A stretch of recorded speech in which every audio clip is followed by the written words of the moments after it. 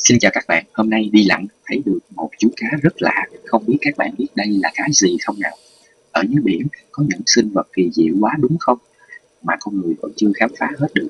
Nên kể từ hôm nay, người cá Tiun sẽ tạo ra một kênh youtube mới nữa, mang tên là Moment Tiun để thay các bạn khám phá thế giới đại dương nhé.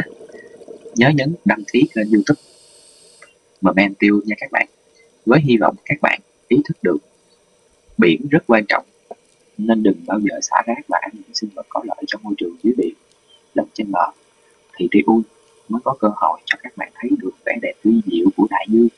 Chứ các bạn cứ xả rác xuống biển là những sinh vật bí ẩn này chưa kịp khám phá đã bị tuyệt chủng hết rồi.